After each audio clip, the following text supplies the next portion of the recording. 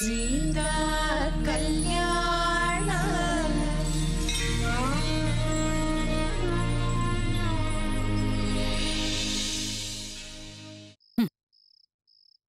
സ്വീകരിച്ചത് തെറ്റായി പോയിന്ന് ഇപ്പൊ തോന്നുന്നുണ്ടോ?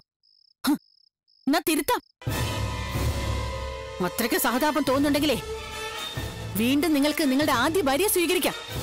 അടുത്ത് തന്നെ ഉണ്ടല്ലോ. നിങ്ങൾ ചെന്ന് ചേർത്തെങ്കിൽ പിടിക്ക്.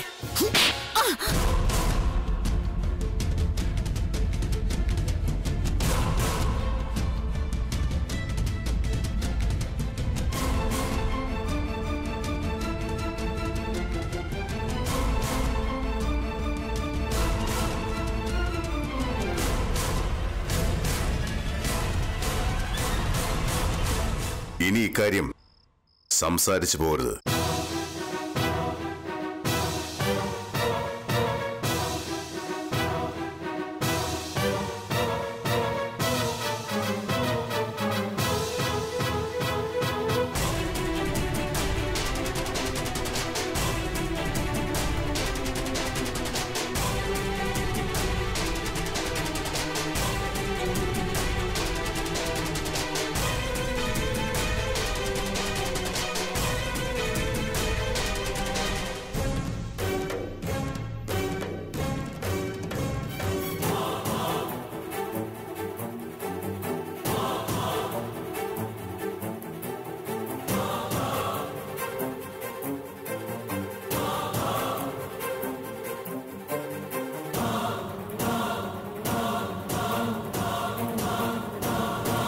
ഭർത്താവും മകനുമായിട്ട് അടുക്കാനാണോ?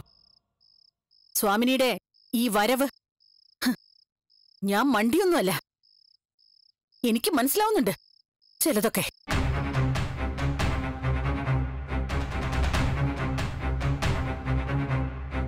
വേണുവേട്ടൻ ഇപ്പോ എന്റെ ഭർത്താവാണ്. അംബിക ചേച്ചിയുടെ ഭർത്താവല്ല. മറ്റൊരു പെണ്ണിന്റെ ഭർത്താവിനോട് അടുക്കാൻ നാണമില്ലേ നിങ്ങൾക്ക്? ഇത് ഞാൻ വർഷങ്ങൾക്ക് മുമ്പ് നിന്നോട് ചോദിക്കേണ്ട ചോദ്യമായിരുന്നു. എനിക്ക് വേണ്ട വിധത്തിൽ സംസാരിക്കാൻ അറിയാത്തതുകൊണ്ടല്ല. ഒന്നും കല്യാണിനെ അറിയിക്കേണ്ട എന്ന് കരുതിയിട്ടാ ഞാനിങ്ങനെ മിണ്ടാതിരിക്കുന്നത്. അത് എന്റെ ദൗർബല്യമായിട്ട് നിങ്ങൾ കാണരുത്.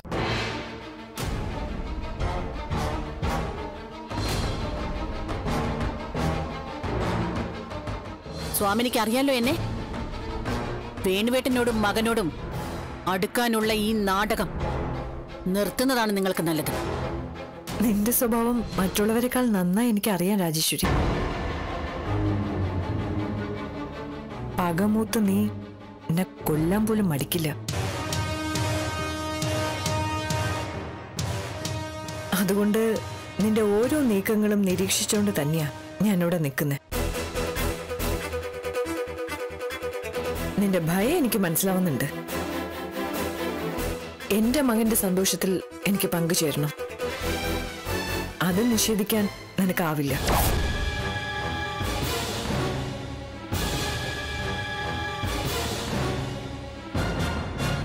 ഭീഷണിയുടെ സ്വരം എന്നോട് വേണ്ട രാജേശ്വരി.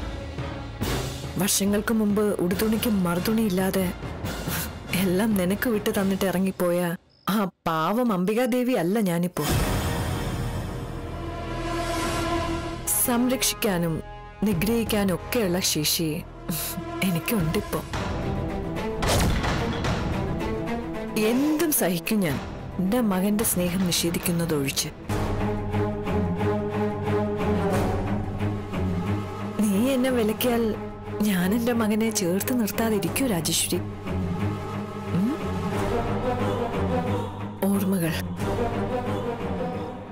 എന്നെ വേദനിപ്പിച്ചുകൊണ്ടേയിരുന്നു. ആ വേദന സഹിക്ക വയ്യണ്ട ഞാനിങ്ങോട്ട് വന്നത്. എന്റെ മകനെ കണ്ടപ്പോ വേണുവിന്റെ മുമ്പിൽ അല്പസമയം നിന്നപ്പോ ആ വേദനയ്ക്ക് ശമനമുണ്ട്.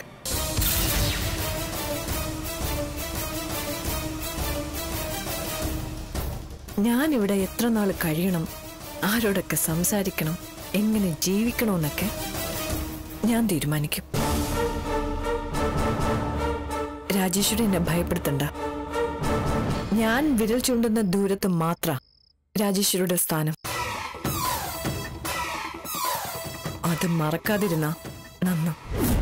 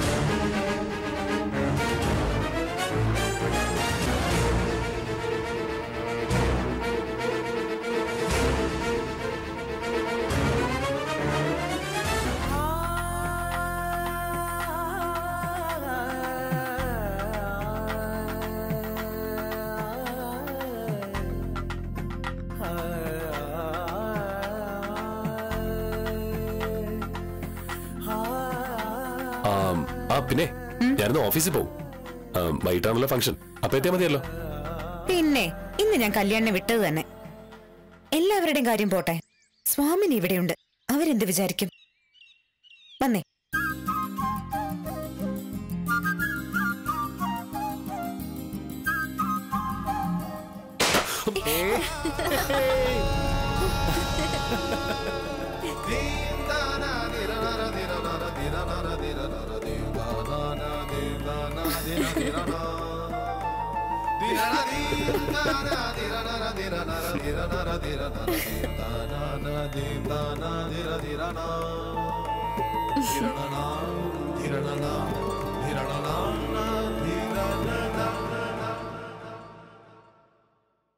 Happy birthday to you. Happy birthday to you happy birthday dear Kalyaneta. Happy birthday to you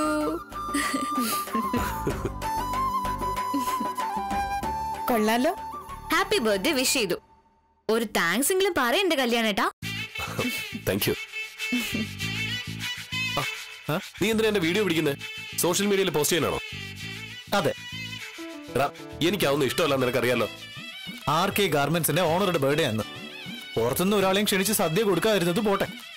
ഒരു ഫേസ്ബുക്ക് പോസ്റ്റെങ്കിലും ഇട്ടില്ലെങ്കിൽ എന്തിനു കൊള്ളാം? പുറത്തുനിന്ന് ആർക്കും സദ്യ കൊടുത്തില്ല എന്ന് പറയരുത്.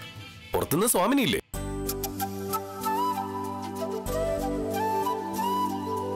സ്വാമിനി പുറത്തു നിന്നുള്ള ഗസ്റ്റ് അല്ല. ഇവിടുത്തെ സ്വന്തം ആളായിട്ട് തന്നെ കരുതിയാ മതി. അതെ. സ്വാമിനി കല്യാണത്തിന് വന്നു. ഇപ്പതേ പിറന്നാളിനും. അതും ഒരു ദിവസം മുമ്പേ വന്നു. എന്താ അവർക്കിവിടെ അത്രയും വലിയ കണക്ഷൻ അതെ ഈ മുജ്ജന്മ ബന്ധമൊന്നും കേട്ടിട്ടില്ല. അങ്ങനെ വലുതുമായിരിക്കും. മുജ്ജന്മല്ല ഈ ജന്മത്തിലെ ബന്ധം തന്നെയാ. അതെന്താണെന്ന് എല്ലാവരും ഇന്ന് തന്നെ അറിയും. ചേച്ചി എന്താ ആലോചിക്കുന്ന? അത് കല്യാണെന്ന് ഓഫീസിൽ പോകുന്ന ശാഠ്യം പിടിക്കുന്നു. നിങ്ങൾ വിടല്ലേ? ഇന്ന് ഓഫീസിൽ പോവാനോ? ഏട്ടനെ ഞങ്ങൾ വിട്ടത് തന്നെ. അതെ ഇന്നത്തെ ദിവസം ഞാൻ ജനിച്ചു എന്നല്ലാതെ സ്പെഷ്യൽ ആയിട്ടൊന്നുമില്ലല്ലോ ഇനിയിപ്പോ നിങ്ങളായിട്ടൊന്നും ഉണ്ടാക്കാതിരുന്നാ മതി. വൈകുന്നേരം ഫംഗ്ഷൻ ആവുമ്പോ ഞാൻ വന്നോളാം. മറ്റുള്ള ദിവസങ്ങൾ പോലെ തന്നെ ഞാൻ ഈ ദിവസത്തെയും കാണുന്നത്. ദേ പറയുന്ന കേട്ടില്ലേ? പിടിച്ചു നിർത്ത് നീ നിന്റെ ഏട്ടനെ. ഏട്ടനെ പിടിച്ചെടുത്താൽ ഞങ്ങളെക്കാളും നല്ലത് ഏട്ടത്തെ തന്നെ. ഒരു തുള്ളി കണ്ണീര് മതി ഏട്ടൻ എങ്ങും പോവില്ല. ഞാൻ പറഞ്ഞല്ലോ സ്വാമിനി ഓർക്കണമെന്ന് കല്യാണിനെ കാണാനും അനുഗ്രഹിക്കാനുമാ സ്വാമിനി വന്നത്. കല്യാൺ ഓഫീസിൽ പോയാ അവരെ അപമാനിക്കുന്നതിന് തുല്യവാ. അതെ അത് ശരിയാ. സ്വാമിനിയുടെ സാമീപ്യത്തിനായി കൊതിക്കുന്നവരാ മക്കളേവരും. കുറച്ച് സമയം അടുത്ത് കിട്ടുക എന്ന് പറഞ്ഞ മഹാഭാഗ്യമാണ്. അത് കളയരുത്. കല്യാണം അവരുടെ അടുത്ത് ചെന്നിരിക്കെ. നഷ്ടപ്പെട്ടു പോയ എന്തോ ഒന്ന് തിരിച്ചു കിട്ടുന്നതായി അപ്പ അനുഭവപ്പെടും കല്യാണിന്.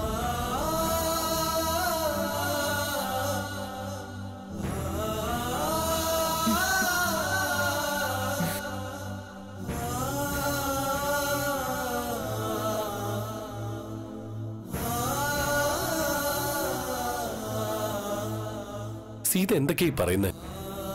ഏട്ടൻ ചെന്നിരിക്കെ. എന്താ അനുഭവപ്പെടുന്നെന്ന് അറിയാലോ.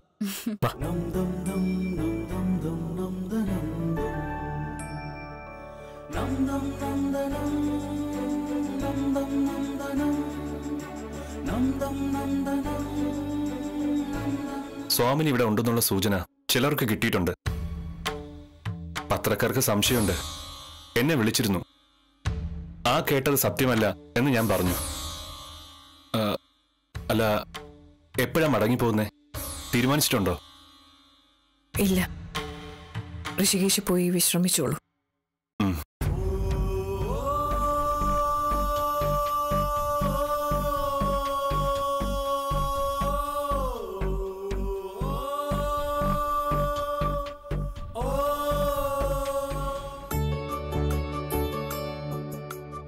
അമ്മേ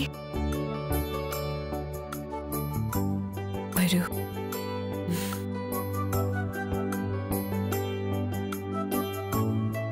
മകന് അമ്മയുടെ വക പിറന്നാൾ സമ്മാനമായി എന്താ കൊടുക്കുന്നത്?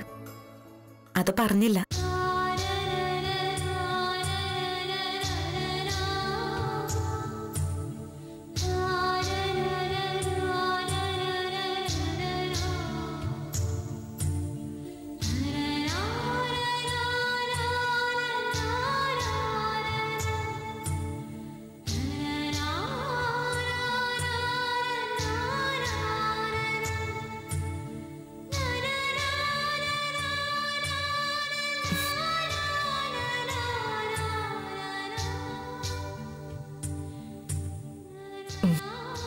ഈ ഡയറിയ. ഞാൻ എന്റെ മകന് നൽകുന്ന പിറന്നാൾ സമ്മാനം. ഡയറിയോ?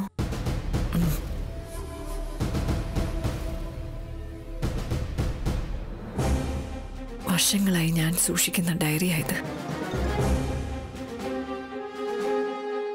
എന്റെ മകനെ കുറിച്ച് മാത്രം ഞാൻ എഴുതിയത്. അവന് പറഞ്ഞു കൊടുക്കാൻ കഴിയാത്ത കഥകളും പാടിക്കൊടുക്കാൻ കഴിയാത്ത പാട്ടുകളൊക്കെ ഞാൻ ഇതിൽ എഴുതിയിട്ടുണ്ട്.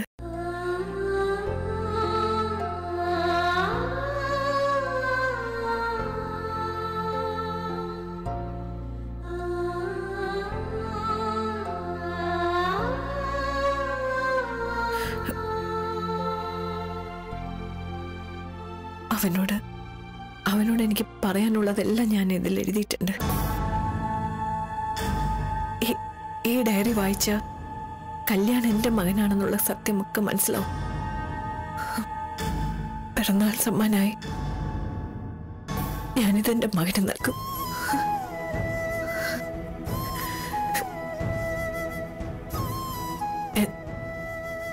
എന്തെങ്കിലും മോനെ കണ്ട ഇതവന് കൈമാറണമെന്ന് ഞാൻ ആഗ്രഹിച്ചിരുന്നു.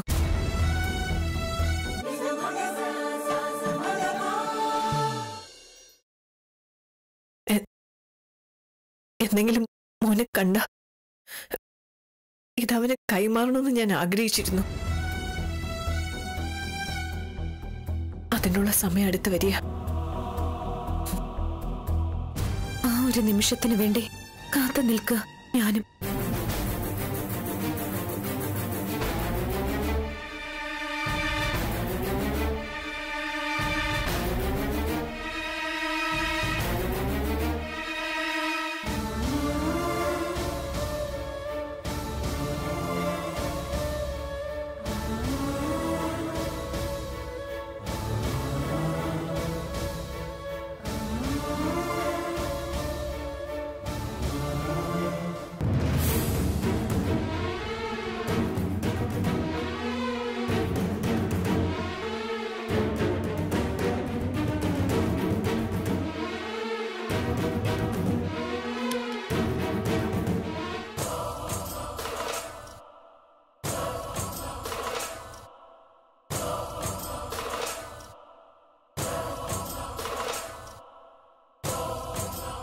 മാഡത്തിനെ ഇന്ന് ഞാൻ ഓഫീസിൽ പ്രതീക്ഷതേ ഇല്ല.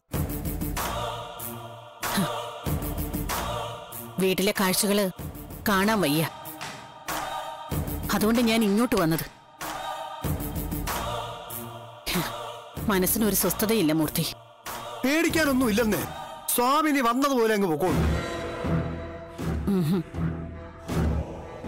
എനിക്ക് തോന്നില്ല ഈ വരവ് എന്തൊക്കെയോ കണക്ക് കൂട്ടിയിട്ടുള്ള വരവാണ്.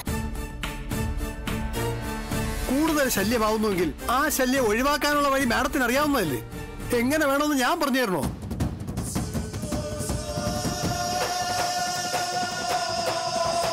എന്റെ കാൽക്കീഴിലെ മണ്ണ് ഒലിച്ചു പോകുന്നുള്ള ഭയം. അത് അതെനിക്കുണ്ട്. എന്റെ ഭർത്താവും ഈ സൗഭാഗ്യങ്ങളുമെല്ലാം എനിക്ക് നഷ്ടമാവൂ എന്നുള്ള ഭയം.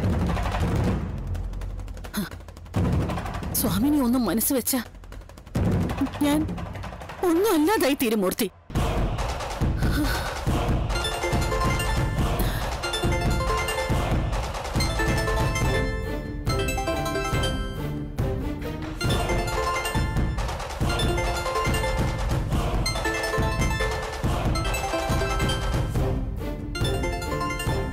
മഹേന്ദ്രനാ.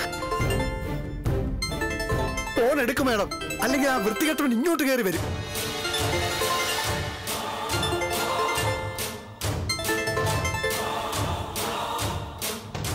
ഹലോ മഹേന്ദ്രൻ?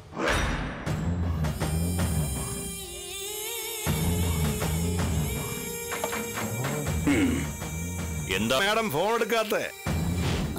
അത്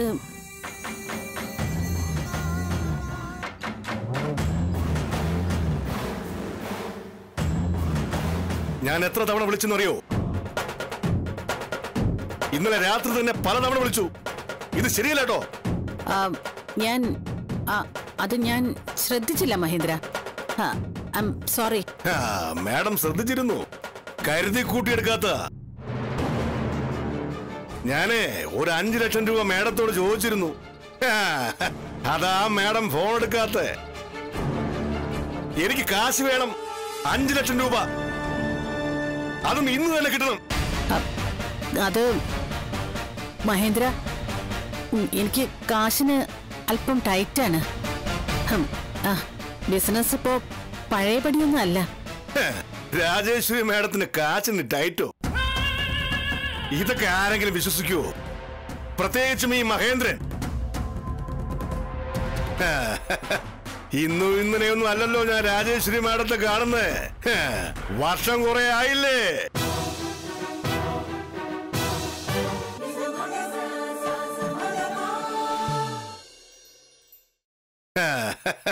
ഇന്നും ഇന്നലെയൊന്നും അല്ലല്ലോ ഞാൻ രാജേശ്വരി മാഡത്തെ കാണുന്നേ. വർഷം കുറെ ആയില്ലേ?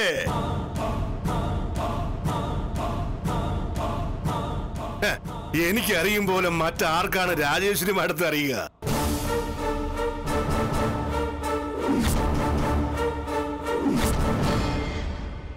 അതുകൊണ്ട് പറയുക അഞ്ചു ലക്ഷം രൂപ എനിക്ക് ഇന്ന് തന്നെ കിട്ടണം. കാശ് തന്നില്ലെങ്കിലേ എന്ത് വേണമെന്ന് എനിക്കറിയാം. എന്റെ ഈ നാവിൻ തുമ്പില രാജേശ്വരി മാഡത്തിന്റെ ജീവിതമെന്ന് മാഡത്തിന് അറിയാലോ.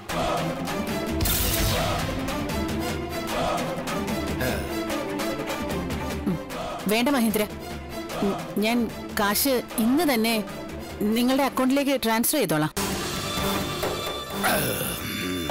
ഇതങ്ങ് നേരത്തെ ചെയ്താ പോരെ. എന്തിനാ ഈ മഹേന്ദ്രനെ ദേഷ്യം പിടിപ്പിക്കുന്നത്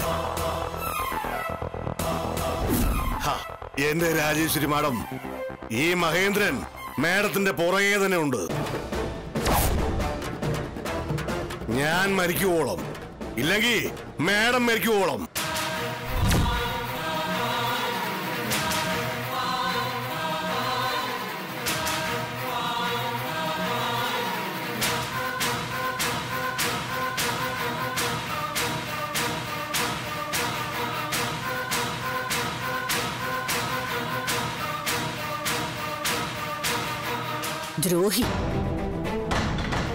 ലക്ഷം രൂപയാ.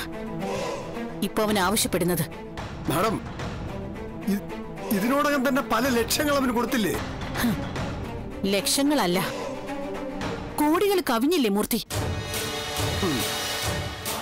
കമ്പനി അക്കൗണ്ടിൽ നിന്നാണ് ഇതുവരെ അവന് കാശ് അയച്ചുകൊണ്ടിരുന്നത്. ഇപ്പൊ കല്യാൺ സാറാണ് രാജേശ്വരി മാഡത്തിന്റെ സീറ്റിൽ ഇരിക്കുന്നത് ആരാണിയ എന്തിനാണ് അയാൾക്ക് കാശ് അയക്കുന്നത്? എന്നൊരു ചോദ്യം വന്നാൽ?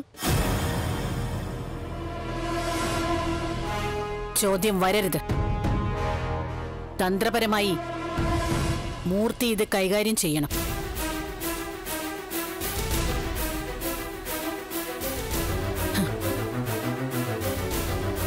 എല്ലാ ഭാഗത്തു നിന്നും രാജേശ്വരിക്കുള്ള ഭീഷണി. കൂടിക്കൂടി വരികയാണല്ലോ മൂർത്തി.